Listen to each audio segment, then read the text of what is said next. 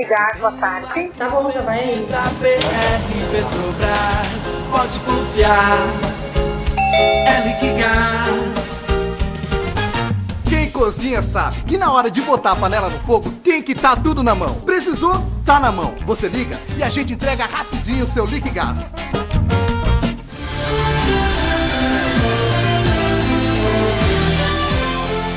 Projeto que tramita na Câmara de Vereadores de Tapes propõe que seja cobrado um percentual para as residências da rua Dom Vicente Scherer, que foi calçada recentemente pela Prefeitura Municipal com recursos do Badesul. A proposta do projeto de número 039, de autoria da bancada do PDT, é que os proprietários de terrenos e residências do trecho compreendido entre a rua Tamandaré e a ponte sobre o Arroio Teixeira devolvam ao cofre do município parte do valor investido no calçamento. Na sessão do dia 28 de setembro, o projeto foi colocado em adiamento e discussão e, na próxima segunda-feira, deve ser novamente colocado em pauta pelos vereadores.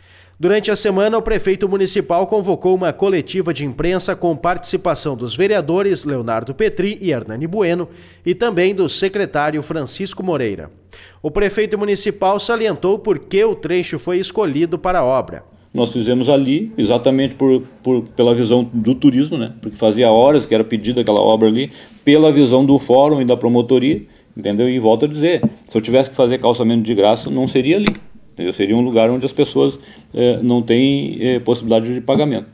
Então, com certeza, eu, a gente busca o entendimento de todos os vereadores, porque eu, eu, a maioria do pessoal que mora em ambos os lados e trabalha na promotoria, trabalha no fórum, com certeza, eh, se perguntasse para ele se quisesse começar tudo de novo, a certeza seria por aí. O vereador Leonardo Petri falou sobre a base para o projeto. Onde houver uh, uma obra pública de frente à minha propriedade, eu arque com um índice que se chama de contribuição de melhoria. E esse índice ele é cobrado efetivamente em cima da real valorização do meu imóvel. Por exemplo, eu tenho um terreno, vale 20 mil reais, ali foi feita uma obra uh, com financiamento, como no caso, e o meu terreno passou a valer 26 mil reais.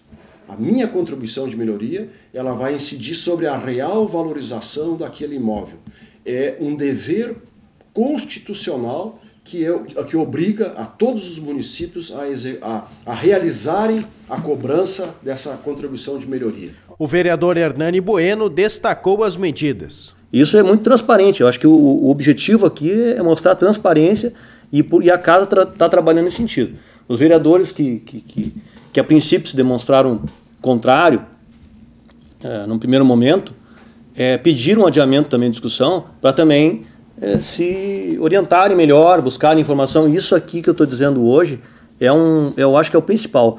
Está dando todo o zelo para a garantia do direito do contribuinte se manifestar posteriormente. Não, não vai aqui o, o prefeito ou qualquer um chegar lá e arbitrar um valor, pegar o valor total e dividir e querer cobrar. Não. Isso aí vai ser feito um estudo, até para que tenha prazo para é, para manifestação.